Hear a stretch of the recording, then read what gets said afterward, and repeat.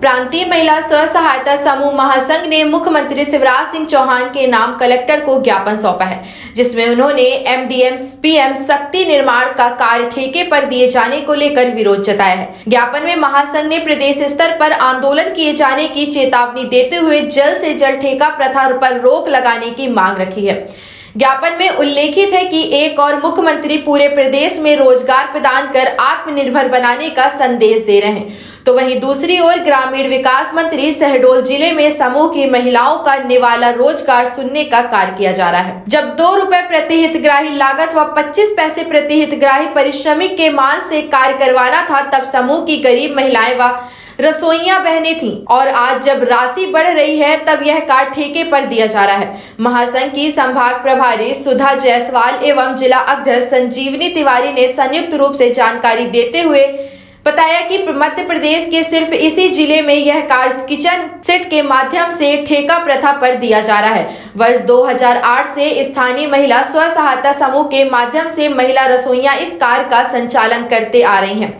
इस ठेका प्रथा की वजह से समूह की महिलाएँ बेरोजगार हो जाएँगी। इतना ही नहीं, आजीविका समूह से जुड़ी महिलाओं के लिए अगरबत्ती, ड्रेस, आजीविका दीदी, कैफ़े, आचार निर्माण व अन्य रोज़गार के लिए आवश्यक लोन शासन की ओर से दिया जा रहा है। जबकि दूसरी तरफ़ M D M P M Poshan Shakti Nirman car का भुगतान तीन चार महीनों में समूह को प्राप्त होता है। बावजूद इसके, स्व सहायता समूह की महिलाएँ पूरे लगन से अपने कार्य को अंजाम देते आ रही हैं। महासंघ ने मुख्यमंत्री से ग्रामीण विकास मंत्री के हस्ताक्षर से हो रहे इस ठेका प्रथा पर रोक लगाते हुए समूह के साथ हो रहे दुर्व्यवहार रोज़गार छीनने के कार्य पर रोक लगाए जाने की मांग की है। साथ ही चेतावनी देते हुए कहा है, यदि जल्द से जल्द इस मामले का निराकरण नहीं किया जाता तो आगामी दिनों में संगठन प्रदेश स्तर पर आंदोलन करेगा।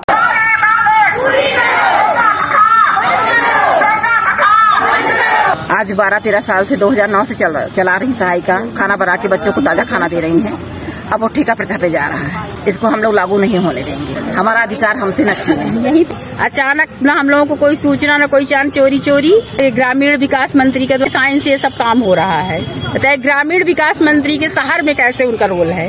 है शहर का काम वो कर सकते हैं। आगे भाई भूखे मरने से तो अच्छा है कि फिर जान दे दी